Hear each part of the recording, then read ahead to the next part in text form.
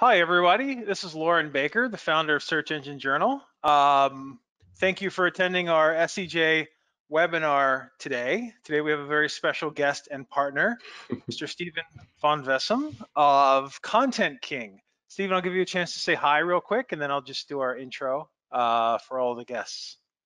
Cool, sounds good. Thank you very much uh, for having me, Loren. Absolutely. Welcome, everyone. Absolutely. So um, before Steven gets started with his presentation today, which is very interesting. So uh, first of all, um, first of all, I uh, I know that either in-house or on the agency side, we've all dealt with surprises, quote unquote, uh, from time to time that uh, can pop up.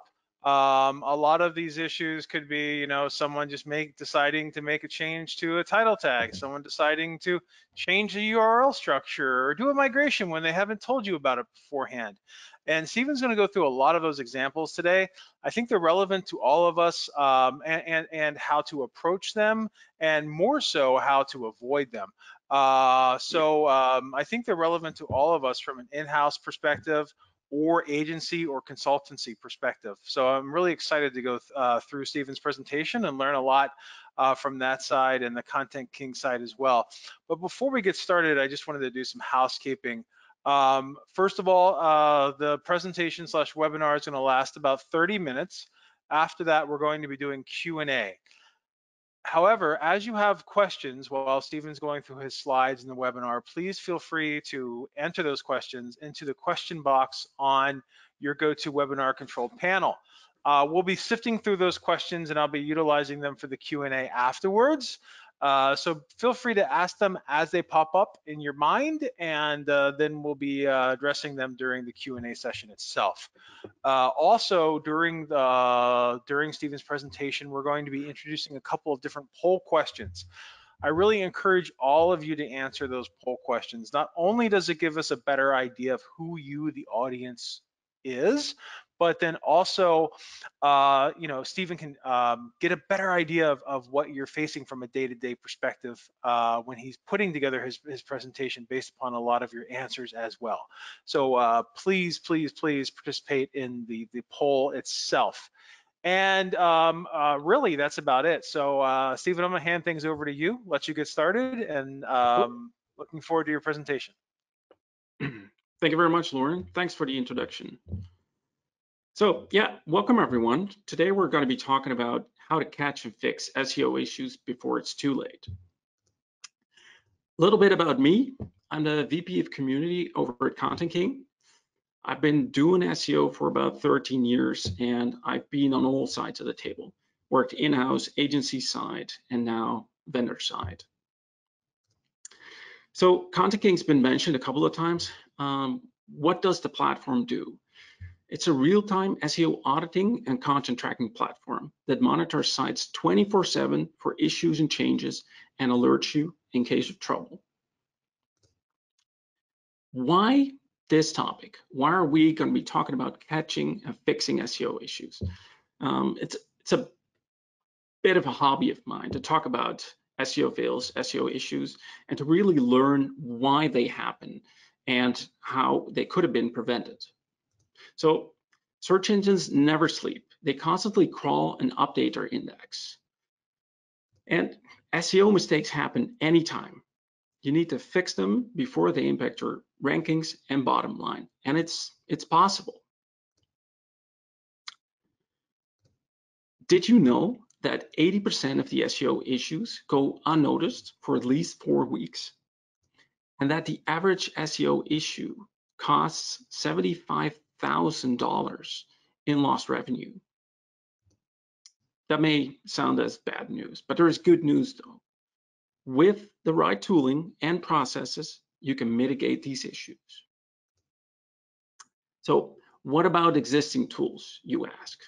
Doesn't Search Console does something along these lines? Sure, they send out notifications, but they are delayed and they're quite limited in scope and they're not as useful as you'd want them to be. And what about Google Analytics alerts? Well, when those alerts are triggered, your organic traffic has already taken a hit because that fact alone is part of the triggering mechanism.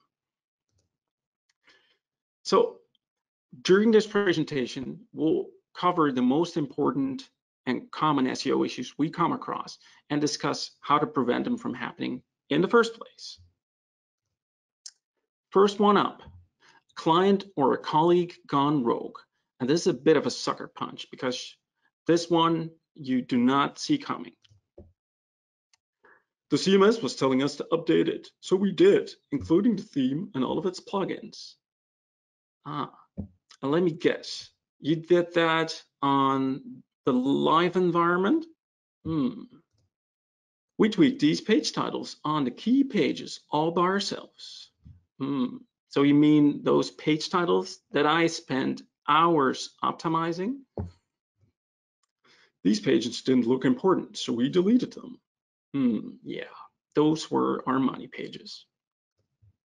We didn't like the URLs on these pages, so we went ahead and changed them. Yeah, I've been trying to keep those URLs the same because we need to avoid URL migrations, even tiny ones. The competition is, competition is brutal, and my job, job is hard enough as it is. So this is all very frustrating, and it leads to your rankings taking it on the chin. So how do you prevent this? You need to keep track of whatever is going on on the site. You need to know what's up. And you need to receive alerts when someone goes rogue. and trust me, they will. You need to limit access as much as possible. So for instance, why would a content marketer have access to functionality to update a CMS, right? And by setting clear rules of engagement, you make sure that everyone knows what they can and cannot do. So this change tracking thing, what does it look like? This is a screenshot from ContentKing, and it's basically showing you what pages were added, removed, redirected, changed, and so on. You have a full change log of whatever happened on your site from the moment we started monitoring the site. And you can just basically compare what the site was like, I don't know, uh, yesterday or a couple of days ago or a week ago, whatever you want. Uh, we'll pull up the diff and show you exactly what happened. So you can go in and see what happened, when it happened, and kind of trace back from there uh, to, to look for the, the cause of the issue. And because we're constantly monitoring sites, we can also audit it constantly. So we're continuously checking the site and running our full test suite to spot any issues we come across. And the alerts is where 24-7 monitoring, change tracking, and auditing come together. And of course, you only want to get alerts about issues and changes that matter to you. And alerts need to be smart. So for instance, do you want to receive an alert if the page title changes on some of the least important pages within your site? No, right? Okay. What about your home page? Yeah, for sure. And what about um, if the page title changes on like 80% of the least important pages? I would want to receive an alert like that because it could be the start of something much bigger, something I definitely want to keep an eye on. So, other common SEO issues we're going to be covering during this presentation are development teams gone rogue, releases gone bad, and buggy CMS plugins.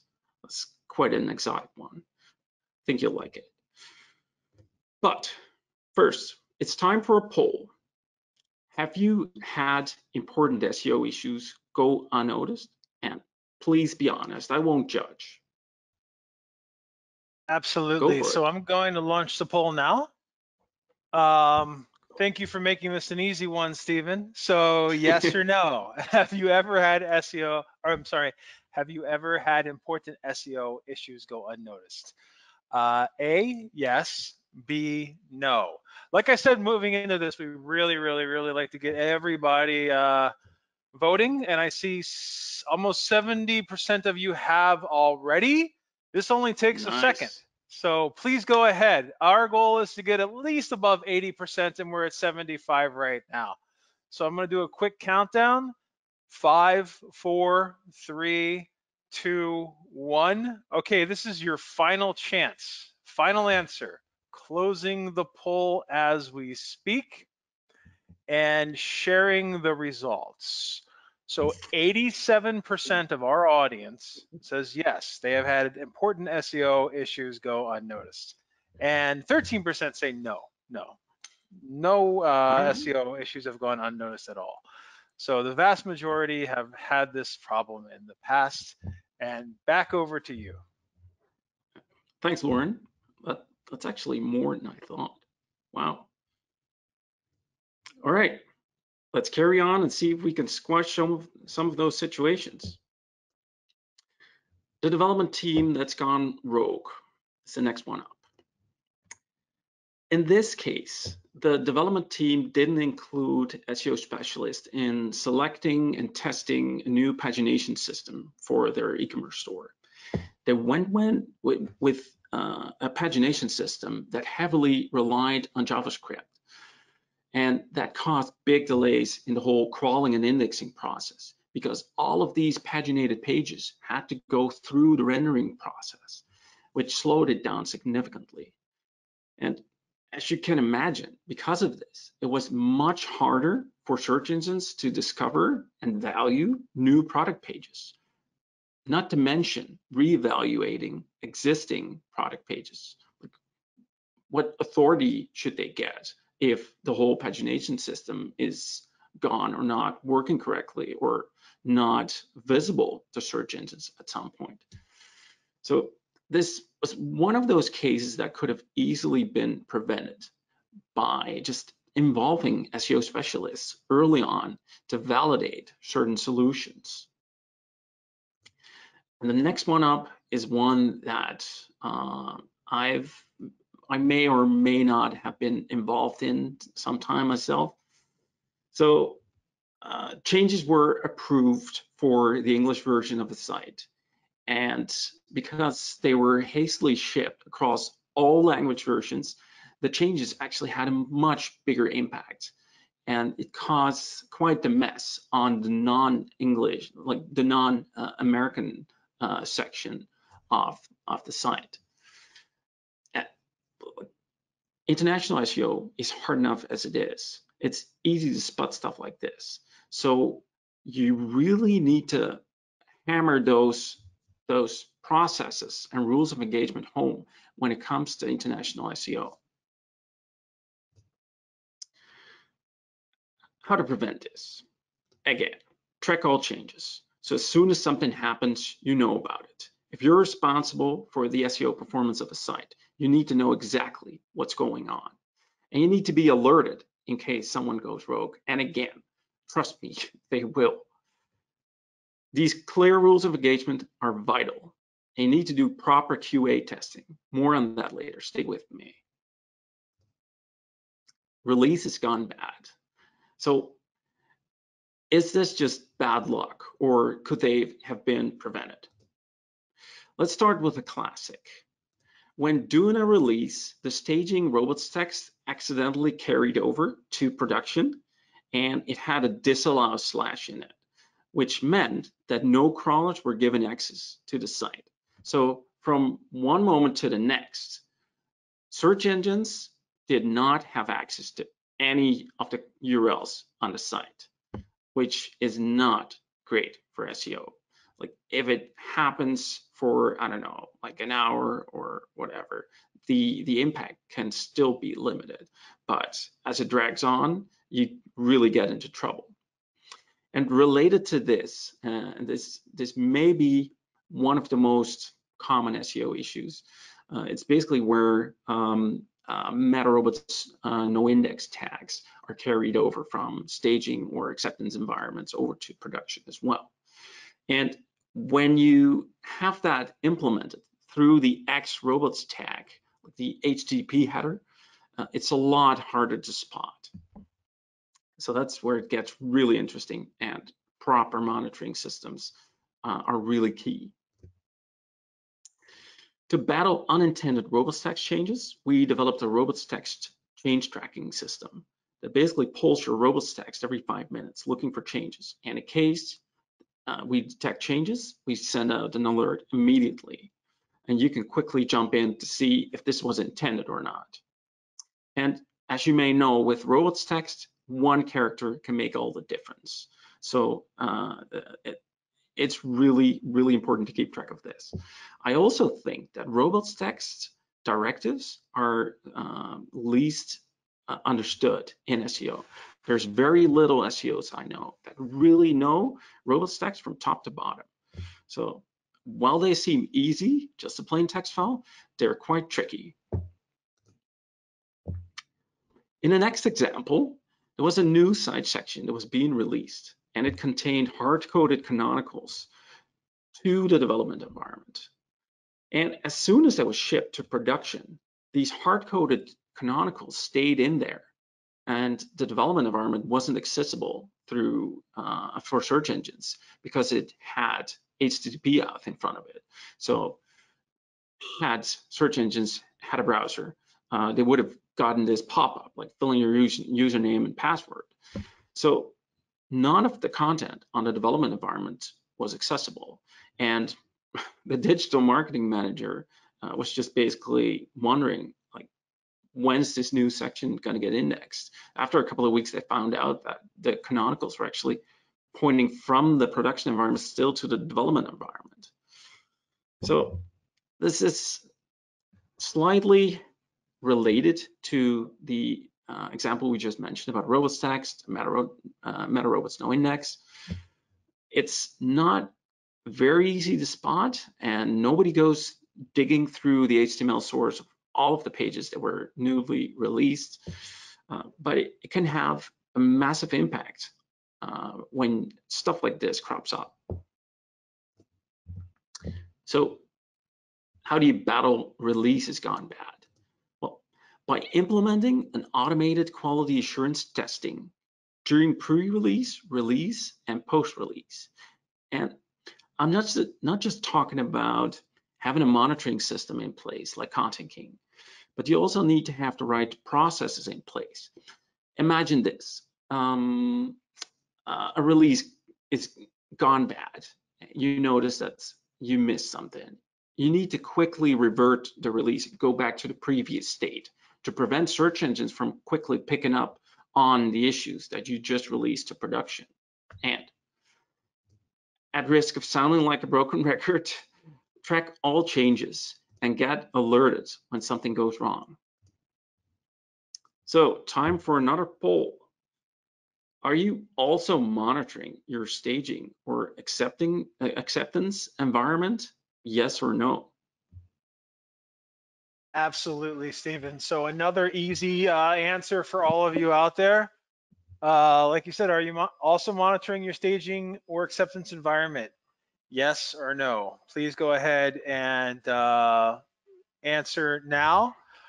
I love that uh, dev environment referring canonical example that you showed. That's happened to me numerous times in the past.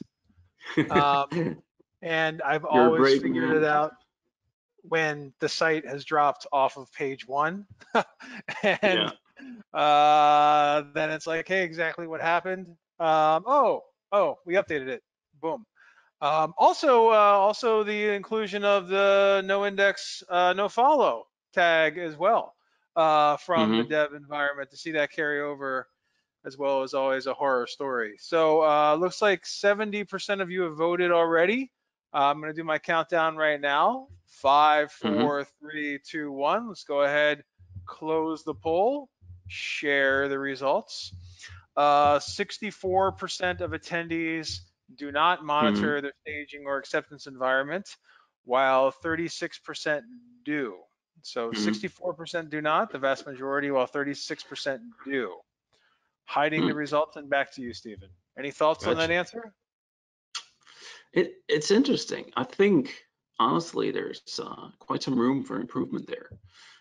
Because if you catch these issues early on before re releasing them to production, you can really minimize the amount of SEO issues and unexpected changes occurring in the production environment. But I I understand the poll results because it's not as easy as just monitoring a production environment. Uh, it takes a bit more uh, more work and uh, creativity to to yeah compare those staging or acceptance environments and the production environments. All right, next one up is buggy CMS plugins. They can be a real pain in the butt, and I'll explain why. Security updates are often forcibly applied, and when they contain bugs, these are introduced without your knowledge. Over the years, we've seen a bunch of examples where buggy CMS plugins changed SEO configurations of hundreds, thousands of sites in one update. And I'm pretty sure Search Engine Journal has covered uh, a couple as well. So if you're curious, uh, do some Googling, you'll find them. And it's stuff like this that catches everyone by surprise. But it just happens. Like we we mentioned it before. It's like these SEO issues and changes, they just happen. And what really matters is how you deal with it. Like some things cannot be prevented from happening, but you gotta take measures uh, uh, to, to, to minimize the impact of the changes. So you, you need to know what's going on so you can quickly jump in and apply fixes where, where necessary. So how do you make sure you're not affected by these buggy CMS plugins? Well, by disabling automatic updates and by tracking all changes, receiving those alerts when something goes wrong. So by now you must be run, wondering, how does traditional crawling measure up against continuous monitoring that I've been talking about? Let's take an example here there's an SEO incident and you've got weekly scheduled crawls set up to go on Monday. And when something goes wrong on Tuesday, you won't know about it until the next Monday. By then, search engines will have picked up on it. And with ContentKing, you would have already had the fix in place. Or what about the situation where you're crawling a large site, which takes maybe two, three days to finish? And by the time it does, you'll be looking at all data in the meantime, all sorts of changes have already been made. Maybe even your robots text, your XML sitemaps have changed. So what you want to do is when something breaks, you need to know immediately and fix it before Google notices it. That's our philosophy. And a right approach to do this is by assigning importance to URLs and then monitoring accordingly. So not all URLs are created equally. So for instance, your homepage and money page are much more important than say uh, some blog articles from a couple years ago that do not drive any traffic. And you want your homepage and your money pages to be checked more frequently.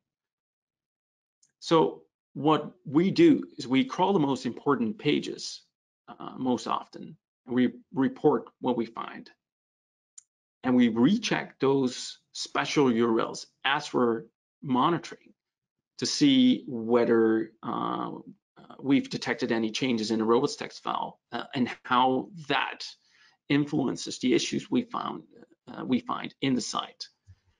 So it's um, when you look at monitoring your SEO performance in your site, you need to think of it as a uh, like a, a, a, fluid process where um, uh, the importance of URLs uh, may change as well as you're adjusting your internal link structure, meaning your tooling should adjust at that very moment as well.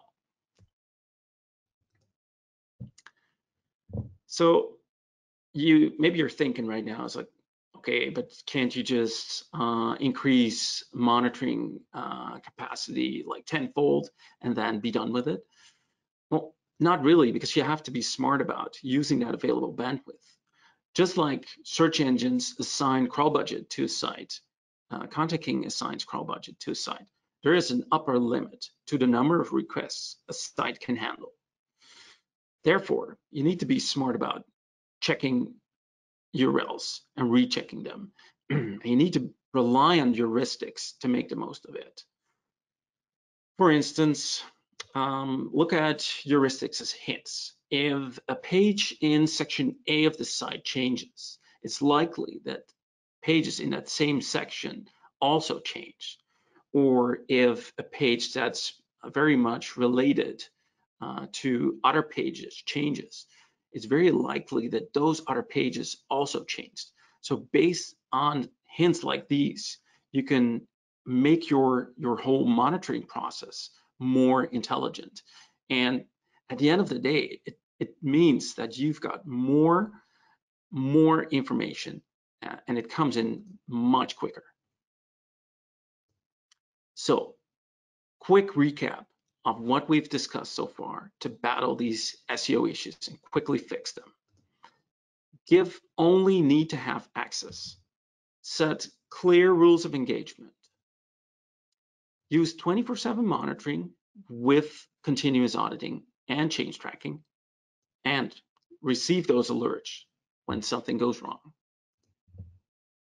And remember, 80% of these SEO issues go unnoticed for at least four weeks. And the average SEO issue costs $75,000 US dollars, by the way, in lost revenue. The question isn't if something will go wrong. The question is when. Are you ready? Don't leave your bottom line unprotected. Thank you very much for your attention. You can find us at contentkingapp.com. If you have any questions, I'll be happy to answer anything. Over to you, Loren. Thanks, Thanks Steven. Uh, incredible information there. And the thing that really um, that really hit me, and it was the impactful data around the 80 uh, percent of hmm. issues did not get fixed for four weeks, and then the monetary loss data as well on the average of 75,000 dollars uh, being was lost from um, these issues. So yeah. um, I would see that being a, a way. So one of the challenges that SEOs have, uh, and I got some of these uh, questions coming in about this, is mm-hmm. the ability to set those parameters for the development team, right? And some of the hurdles mm-hmm. you may have, especially we know that most of the um, a lot of the day to day from an in-house perspective is building relationships with developers and, and getting in that timeline and this and that. But from an agency or consultancy perspective, that can be kind of hard. Um, mm-hmm. Now, this this slide and this data really impacted me. Would you say it would be something that, in addition to putting together a case study like this to really get that conversation going internally, are there any other data points that you would recommend or any ways for consultants or agencies that you would recommend to be able to get this conversation started? If someone's already working with a site where they do not have mm-hmm. either a relationship built or in some cases the trust of the development team, are there any ways that you would recommend to get this conversation started? Yeah, so first of all, the relationships with development teams are vital to getting stuff done uh, as an SEO. Uh, and having information like this really helps you to make your case. So the way I've always approached um, working together with development teams is uh, to provide them with all the, the resources and uh, day-to-day -day needs, uh, back up as much as you can. Uh, and like if they're, I don't know, if they're working on hreflang, uh, they'll want to know like how does it work? What are the best practices? Uh, what are uh, the some of the downsides? How do I use it? Are there certain edge cases to take into consideration? Uh, and are there similar um, uh, examples, examples of sites that's that have rolled out similar setups, et cetera, et cetera. So if you gather uh, information and data about that that really helps you make your case internally. Is that an answer to Gotcha. your question, Loren? Yeah, yeah, yeah, I think so. So in addition to if uh, if maybe an issue has not happened yet, uh, and building an internal case study around potential losses uh, from issues on that side, looking to see what the competitors have done, how they've rolled it out, how they've rolled out Yeah. something right versus wrong, right? Yeah. Um, and then maybe also there, you know, there's a number of tools out there that uh, give an expected value of traffic, right? So if you see that a competitor has lost maybe 50% on what Mhm. you can see as an obvious Yeah. flaw, right? That they're not seeing, you say, hey, look, uh, when this happened to so and so, they lost X percent of their traffic. Possibly they're using losing X percent of revenue. Let's not fall into this same hole when we're doing our release or our migration or whatever Exactly. in the timeline, right? Mhm. Um, And if you can't find any competitors, uh, then yeah, going more generic will do. Um, like uh, uh, I think it was two months ago, we uh, wrote an article about um, the biggest SEO fails we've come across in 2020. And uh, we covered stuff like uh, what happened at LinkedIn and Ryanair and uh, uh, a couple of other examples. Like there's plenty of information out there. You just need to know where to look. Uh, and yeah, I would use anything uh, uh, I, I can get my hands on to make my case. Also, uh, one one piece of advice uh, I'd like to give any uh, agency or, or consultant out there is that you should not be having this conversation with the developers after you sign the contract. you should be finding this out before signing the contract. Uh, so uh, during uh, your um, uh, introduction phase, during the RFP phase, during Mhm. whatever phase it is that you're going down, the ability to work with the development team or have a liaison between whether you're working with a project manager, a product manager, or an, an internal uh, uh, VP of digital or whatever it may be, their ability to have a relationship with the development team to actually get things done that you're Mhm. presenting should be something Yeah. that you address before signing that contract. Uh, because Yeah. if not, you could very well be setting yourself up for long-term failure Mhm. on Exactly. Yeah. that behalf. Uh, one Yeah. question that came in, you're discussing plugins and things like that. Mm-hmm. So uh, from your experience, which CMS systems have presented the most issues with SEO? Uh, both, let's say, let's start with uh, publishing CMS solutions and then e-commerce based platforms as well. Uh, which of Mhm. each have you found uh, introduced the most issues from an SEO perspective? Um, yeah, that's an interesting question. And um, uh, like from a publisher point of view, uh, it would have to be WordPress. Um, uh, of course, WordPress has a huge user base. So there's millions and millions of sites running on, on WordPress. Um, and there's a ton of plugins out there and people are quite keen to try them out and leave them installed and et cetera, et cetera. Um, so all sorts of stuff happens. Uh, we covered um, like honest mistakes, uh, like buggy updates that were pushed. Uh, but imagine um, WordPress plugins uh, being sold uh, to some other party and someone injects some code and takes over your site. Like it happens. Um, and it doesn't mean you shouldn't use WordPress. You just need to be mindful of what uh, could happen. Uh, and if we're talking e-commerce, uh, I would say Magento um, uh, as one of the most popular platforms out there, um, uh, with a, a, ton of extensions as well. Um, it, it, can be quite tricky to uh, to keep everything running um, if you don't keep uh, like your Magento version um, up to date, uh, as well as the extensions. And especially now uh, that Magento 1, for instance, has been discontinued, um, uh, at least by uh, development by Adobe, uh, it's it's quite tricky to to keep everything running and safe. Yeah. Excellent. So you brought up a, a couple of really good points uh, that I'd like to recap, especially on the WordPress side. Um, we like to play with plugins, right? hey, Don't we all? this new plugin just launched. Hey, this new plugin just launched. Let me install it, see what happens.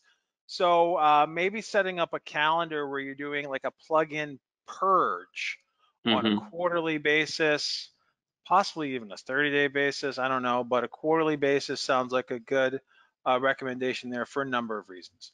One, some of these plugins, as you said, uh, maybe the owner has moved on to something else, right? Maybe they they aren't either they're not updating it on a regular basis, so you run into security issues which happen there, Yeah. Right? They're not updating it Yeah. as WordPress updates. Um, or there's also plugin conflicts that can happen. One plugin is saying to Yeah. make this uh, canonical this, one plugin is saying, you know what, we're going to add another canonical tag later on in your code, Mhm. and we're going to introduce Yeah. both of those to Google. Or we're going to use a command called a no index for this uh, component of the code, which Google is going to recognize as a command that says, take this site out of our index, right? So there, Mhm. there's that issue from a, a a plugin conflict perspective and Yeah. outdated plugins. And you also touched upon Yeah. This kind of black hat marketplace of expired plugins, which does exist. Mhm. So Yep. sometimes sure people does. will sell plugins. They'll sell them to companies that may say, hey, we're going to sell links to it within our plugin code on the sites that run our plugins. But they don't tell you that as the owner of the site.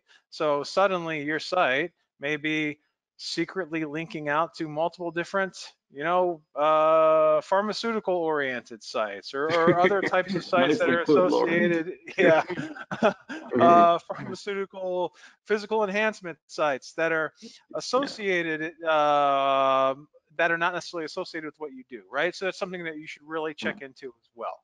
Um, are For your sure. plugins updated? Um, are they useful? Are they conflicting? Um, are they Yeah. still owned by the same company that launched them? Uh, So Mhm. that's a really good one. And also be on top of plugin updates as they happen, right? Um, Yeah. Especially some of the SEO One- plugins out there. Yeah. Uh, Loren, I've got one addition uh, to um, like the, the the topic of uh, conflicts. Um, with the adoption of uh, CDNs like Cloudflare, um, uh, the, the, you you basically add a whole extra layer of potential complexity uh, because you can run redirects on Cloudflare. You can uh, basically make changes to code on Cloudflare. So when you're talking conflicts, you need to uh, basically, yeah, broaden your usual scope of looking at the site. Uh, and when you're diagnosing issues, you need to take into account the full architecture of the site, because nowadays we're seeing a ton of stuff happening uh, on CDNs, and people are basically digging through their WordPress install or some other platform, and they're like, hey, I, I don't see these uh, redirects where are they managed? I don't pick up on these uh, uh, Meta robots no index tags, et cetera, et cetera. Uh, and as it turns out, uh, uh, some of those may be running uh, on a CDN. So uh, it can, like, I'm a big proponent of CDNs. They uh, add massive amounts of value. Uh, but when you're making changes in CDNs, uh, uh, you need to adjust your processes as well. You need, to make your team aware of what's going on and how your architecture is set up. I'm glad you brought that up. Um, I've dealt with this a little bit uh, earlier in the year. So, especially uh, when the CDN is used as an alternative for what not can be, what cannot be done on the platform. One really good example is uh, Shopify, right? And utilizing Cloudflare workers as a workaround to the limitations that Shopify has uh, with, uh, you know, uh, robots.txt, other types of edits that Mhm. are that are just typically not allowed within their system, right? So if all of that's done within Cloudflare and then suddenly Cloudflare is off, uh, someone makes a decision, hey, we're going to change uh, CDNs from Cloudflare to AWS. whoa, wait a Mhm. second. Well, let's make sure everything that move we've over done configuration. to Yeah. solidify our current ranking in Google that was done on the front end Yeah. of, or that was done on the Cloudflare Yeah. CDN side is moved over as well. So that that's a very good point. Thank you for bringing that up. Sure. Yeah. Uh, one thing about Shopify's robots text uh, control, um, Jackson from Shopify uh, tweeted about this a couple of weeks ago, asking for uh, use cases where um, you'd like to get that robots text control. Uh, so maybe they're thinking about uh, adding control features for that from within the admin environment. Uh, but I think SEOs have made their point where uh, they basically say, hey, this could be really useful uh, uh, functionality for us. So if anyone on the webinar has any good ideas, look up Jackson from Spotify, uh, uh, Shopify uh, on Twitter um, and um, look up his tweet. Send all your use cases there because I think it'll be a good thing for more advanced SEOs to get that control. Yeah, and I, I also did notice that Shopify is hiring in their SEO departments as well. So I wonder if they're they're uh, looking to get more uh, integrated on that side as well. Um, while we're on the subject of plugins, uh, did have a question come in that's uh, quite direct. Um, does it really help you to use two plugins for SEO? Say, can you run Yoast and Rank Math at the same time? Well, you, you can, but it doesn't mean you should. I would never, ever use two plugins to basically do the same job. Uh, so no, the chances of having conflicts in your code is too high because the plugins work differently, but they both have an effect on stuff like um, uh, robots tags, canonicals, XML sitemaps, robots texts. So like all bets are off if you install multiple SEO plugins. And when you're encountering SEO issues, where are you even going to start with debugging? So I wouldn't go there. Um, no. Okay, good. And Yeah, and Rank Math is not sponsoring a Dutch basketball team, um, but, but Yoast is. So that's, that's another uh, the way they don't uh, match up. So um, you you were using examples of uh, the the um, kind of the the vagueness uh, and the uncertainty and the uh, the time it takes to get an alert from Google Search Console Mm, when there are issues, right? So uh, a lot of uh, Google Search Console mentions uh, in your presentation led to a lot of questions around um, core vitals and Mhm. page speed insights. Um, how important and what are your thoughts on the new Core Web Vitals from Google? Um, are alerts that are uh, similar to Core Web Vitals part of the ContentKing experience? And um, I, I know Google has said that they're not necessarily a huge part of the ranking algorithm Mhm. yet, but yeah. where do you see this going from your experience? hmm Yeah, great questions. So first of all, um, when you look at the, uh, the core web vitals uh, and page speed, uh, it all comes down to providing visitors with a solid user experience. Uh, so not just um, serving a site quickly, uh, but also making sure the whole user experience is, is correct uh, and seamless. So I think it's important uh, I think it's very important from a, a conversion uh, point of view as well. Uh, when looking at it from an SEO point of view, I think that the impact of having, uh, having issues is quite limited. Um, if you uh, were to uh, ask me, like, Steve, um, does having a poor page experience, for instance, um, have a direct impact on your rankings? I would say no, not at all to maybe tiny pie. Um, but the indirect impact is much bigger. Like if you're consistently um, uh, providing a poor user experience, at some point people are going to say, mm, I'm not going to go to your site anymore because your competitor uh, is providing a much better user experience. Uh, and well, bye-bye. So over time, it it of course it has an issue, uh, uh, ha has an effect, uh, and it could impact stuff like uh, click-through rates, et cetera, et cetera, which I think is an indirect signal which works down to your rankings as well. So uh, of course, at the end of the day, you want to give people a good user experience. Uh, page experience is important. Core Web Vital scores are important. Having uh, good page speed scores is important.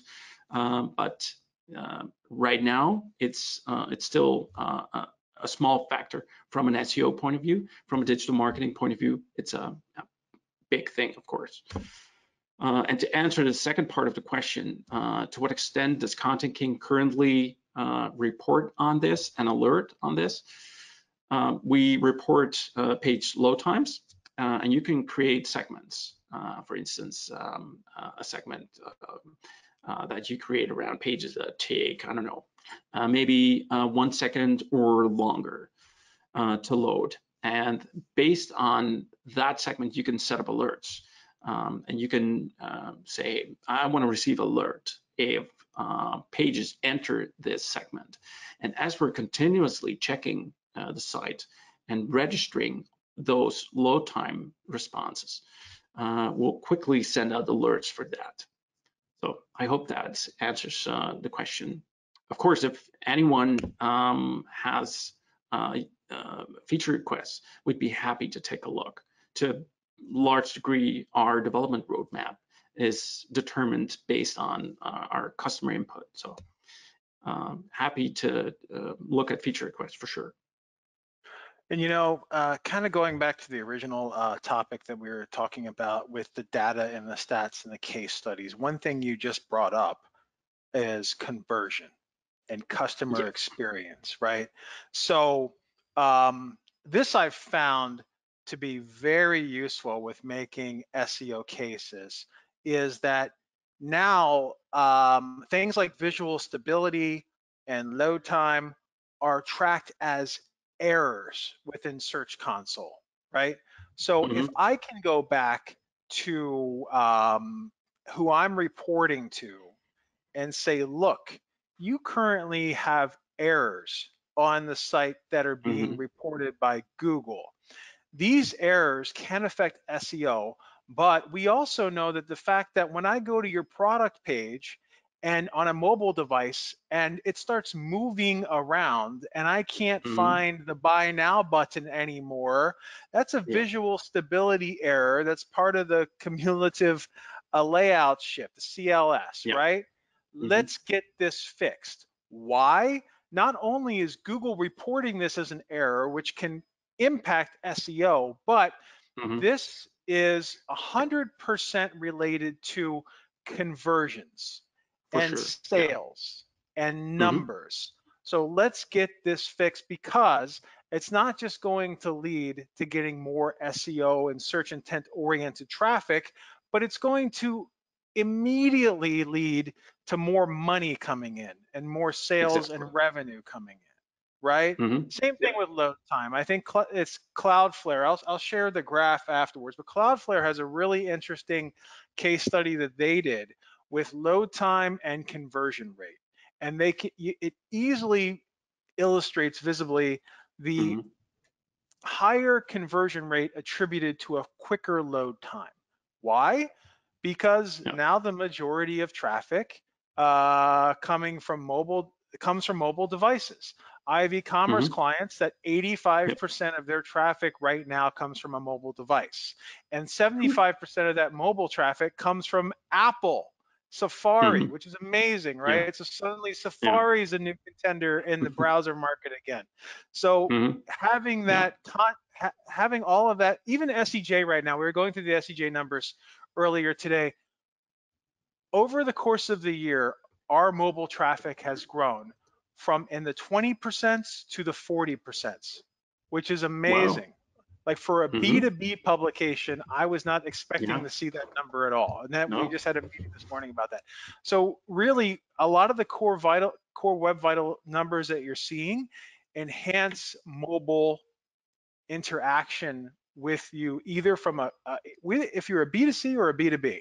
So definitely it's something that Mhm. you want to address. And again, it Yeah. helps to bring the conversation away from we're going to go from ranking on page for uh, from position three to Yeah. position two So you know what? Let's convert all of the traffic, all of the traffic that you're getting right now, Mhm. um, not just uh, not just the search traffic um, that you're getting. So so thanks thanks for going Yeah. over that. I found it to Yeah, be really That's a, that's a really good point. Uh, so from conversion point of view, it's it's massive, uh, and you need to look at this like from a, a holistic point of view. It's like at the end Mhm. of the day, what kind of user experience are you providing, and are you worthy of the clicks from Google? Um, and it, the whole picture needs to be perfect, ideally. And it's um, even though something may not be a ranking factor right now, um, it pays off to just keep a close eye on it and continuously keep improving your site. It's like people were improving their their site speed 10 years ago. Uh, like in competitive niche, niches, it makes all the difference. So, yeah, absolutely good absolutely. point. Um, and then, you know, another thing that Google rolled out not too long ago was also the uh, the organic component of Google Shopping, right? Mhm. Which is based upon not only what you're providing in your Google Merchant Center feeds, but also your your on-page experience. So, getting ready for that is is, is pretty big as as well. Um, Steven, I also had a lot of questions coming in uh, around uh, really understanding crawl budget. So, Mhm. um, you know, uh, could you would you mind kind of going over again what crawl budget is, and what Mhm. are the main factors that not only Google uh, looks at with when determining which pages of the site to crawl on an ongoing basis, but also what you all look at as well. Would you mind just going Mhm. over that quickly Yeah. one more time again? Yes. So uh, when we're talking about crawl budget, we're basically talking about the attention your site is getting from Google in terms of crawling. Like how frequently do they visit your site?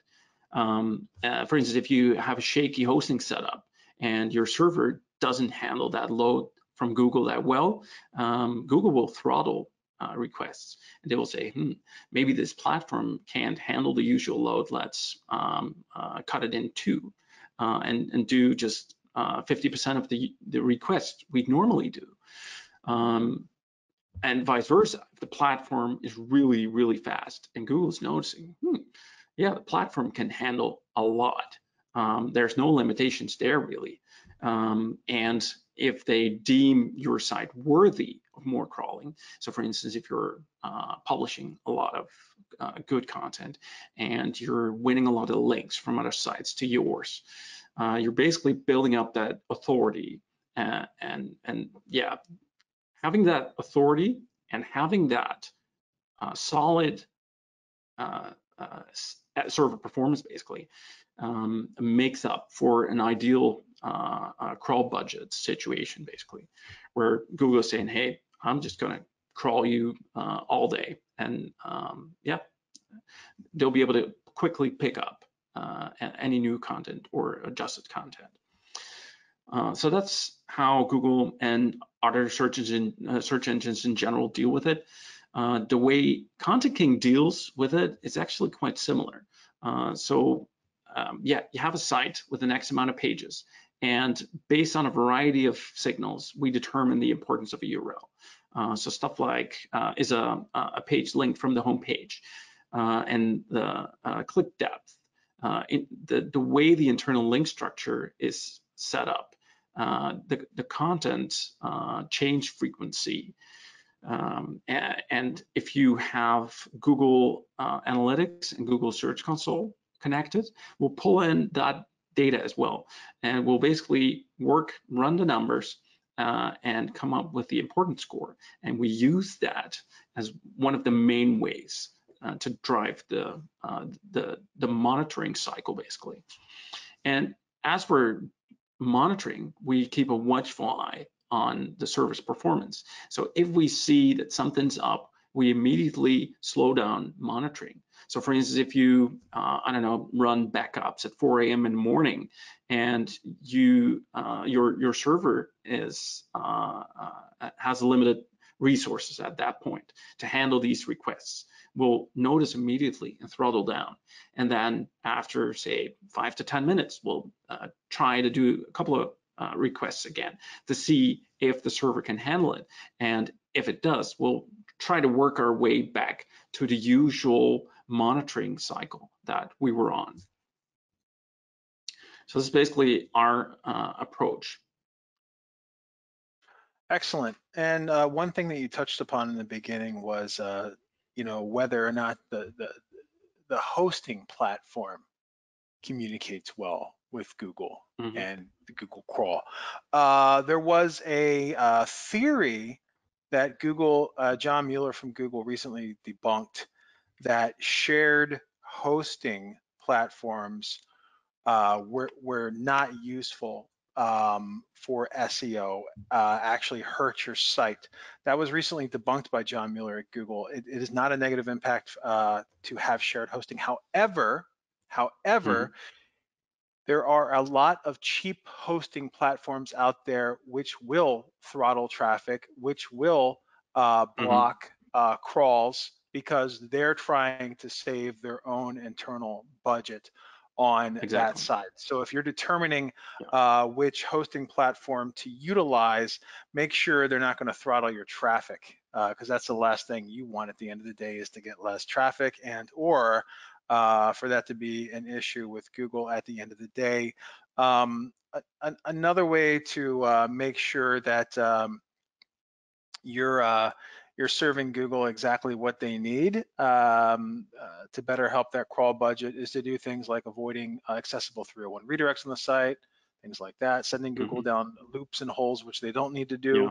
Yeah. Uh, one thing I've heard a lot about, which I necessarily have not um, been able to implement myself, and let me know if you have an experience here, mm-hmm. is that the 404 error versus the 410 error. My mm-hmm. understanding is that the 404 is a can be a temporary error that Google will continuously revisit that page over time mm -hmm. to see if the page is back up again. But the 410 is an intentional error where the page has been intentionally taken down. And then once yeah. Google sees that uh, response, they, they will not revisit that, that URL again. Is that something you have experience with and does that help from a crawl budget perspective? Uh, yes, uh, and yes. Like if you um, serve an HTTP status code 410, uh, it, it's a very clear signal like this URL does not exist anymore. Please stop crawling. Um, and it quickly uh, propagates into Google systems and they'll, they'll quickly stop crawling. Whereas the 404 is basically, it's still too often used as a like a default fallback in case of issues where a 404 is served um, well, actually, it, it should have been something else, like, I don't know, uh, 503, uh, service unavailable. Um, so Google's quite forgiving when it comes to 404s, but if they consistently hit those 404s, um, like at some point they're gonna say, um, I'm just gonna stop crawling this at the usual rate. Having said that, um, Google's got a great memory. Uh, so if you look in your server logs, you may find Google making requests um, requests to these old 404 URLs, like uh, uh, a year after they started 404ing or whatever. So it's uh, there. It's quite an interesting discussion, uh, 404s versus 410s. Interesting. So maybe we'll get into that deeper uh, in a future post or something like that. That might be a good uh, that might be a good overview for a standalone yeah. article in SEJ or something along those lines. I still have to come um, up with a, a topic for my next one. there you go. Maybe I just threw you one. Uh, we'll see. um, so we have like a minute left, but uh, in addition to uh, 404 errors on site on page 301 or accessible 301s through navigation and stuff like that, what are the the three largest errors that you typically see at ContentKing with your audits that we should be on the lookout for? Mm-hmm. Um, a, lot of people set up robots text files incorrectly. Uh, so they um, uh, disallow certain sections uh, or perhaps their assets like CSS files, JS files. And if they're not accessible to Google, Google can't properly render your pages, uh, which means they can't really value them that well. Um, poor internal link structure uh, is another one. It's like uh, it, um, they may have pages with uh, just a handful of internal links and they're wondering like, uh, why does this page not rank? Well, there's a wealth of internal links to add. Um, and there's a lot of duplicate content in sites in general as well. It's like duplicate page titles, headings, meta descriptions, etc., etc., where you're basically making it harder for Google to really understand what your content is about and which uh, content is actually the canonical version, the version that they should be crawling and indexing and focusing their their crawl budget on, basically. Excellent. Thank you. Thank you. So we have uh, those three errors, uh, which we've, which uh, Steven has seen the most, and you should be looking out for. Just Can to I remind. one, Oh yes. One more. Let's do number it. four, broken links. Oh yeah. Every site has them, and like links are continuously breaking. So uh, they, yeah, that it, it's part of the top four for sure. Got you. Got you. Um, so that's that's uh, broken links, uh, duplicate content, which can really Mhm. mess things up from a, a canonical perspective. And I'm sorry, what were the first two again? Uh, so robots text uh, Mhm. issues and internal link structure issues. Okay, got you, got you. Yeah. So um, we'll be including all of this and all of the discussion that we've had today, the presentation, uh, Steven's presentation, along with the Q&A session in our uh, wrap up on SEJ. And just as a reminder, we will be sending out video of today's webinar to all registrants and all attendees, uh, along with a wrap up and I believe your deck as well, Steven. Um, Mhm. Our next uh, webinar on SEJ is going to be on October 14th. Uh, we'll be hosting Purelinq on how a case study on how they built over 600 links in 30 days and how you can too. That's going to be uh, in a couple of weeks, uh, weeks on SEJ on October 14th over from Purelinq. Uh, before we sign off, uh, Steven, looks like we're a little bit over the hour right now. Was there anything, uh, any reminder, any call to action that our uh, that our audience who's still sticking around should take right now to get in touch with you, follow you online? I know you're very active on Twitter. Um, Yep. Any call out before we end things? I'd say um, if you're serious about SEO and you want to know exactly what's going on on your site, I would definitely take ContentKing for a spin. Uh, we've got a 14-day free trial, uh, so um, yep, you could just set it up yourself on our site, drop in your domain, uh, and yeah, off you go. Great. And that's at contentkingapp.com. Yes, correct. ContentKingApp.com. Yeah. Okay, excellent.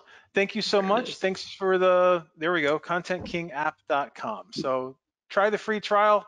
Thank you so much, Steven. It's been a pleasure. I know it's pretty late there in the Netherlands right now, but we uh, definitely appreciate uh, you sticking around and Cool. uh, Yeah. this time. It's been a Uh, pleasure doing this. Thanks for having me. Yeah, yeah. Thanks for the 140 of you or so that are still sticking around right now. So that's uh, that's great to see. And we're gonna have a large recap. Um, looking forward to seeing that on SEJ and uh, possibly hosting you again, Steven. It's been a pleasure. Uh, to everyone that's still there, uh, thank you very much. Um, we'll be answering any additional questions that we didn't get answered and also sending that out with the recap. And we'll see you on the next SEJ Great. webinar. Thanks again, Steven. Appreciate your time and uh, talk to you soon. Cool. Happy to. All right. Thank you very much, Loren. Thank you. Signing off.